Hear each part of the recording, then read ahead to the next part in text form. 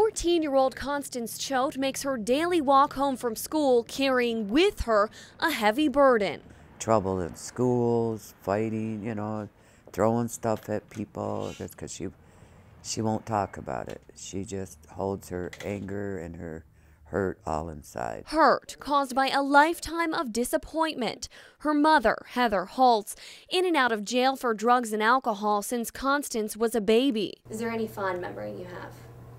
Um, no.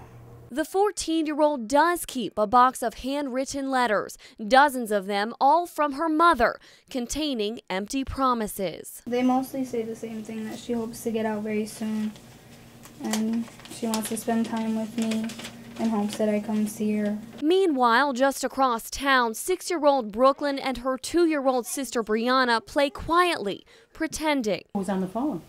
Mama? Mama. Their mother, Amy Stebbins, is in a women's corrections facility. Brooklyn and Brianna live with their grandmother, Becky, who provides love and safety to children who've known anything but. She's been through more than I'll ever go through in my whole life, and she's only six. Feelings of anger, sadness, and shame. One day they were talking about who they love and miss, and like, and that just I just started crying because of her, because I missed my mom. She acts out.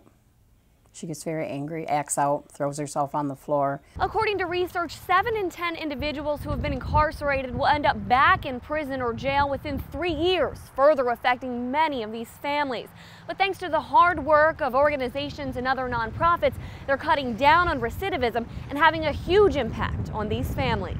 One such organization is led by Larry Goodeth, a former NFL player who spent a year in jail. Now, through Lifeline Prison Ministries, he works to reconnect families separated by gray cement walls through therapy with inmates and their families, mentoring, and Bible based teachings. The success stories are overwhelming. Forgive me, but tears of joy are streaming down my cheeks.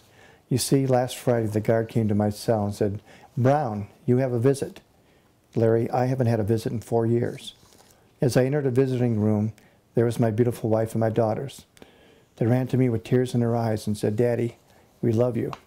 Please be our daddy again. We forgive you. Similar stories reflect the family focused mission of Lifeline Ministries. Inmates who go through the program are 20% less likely to return to jail.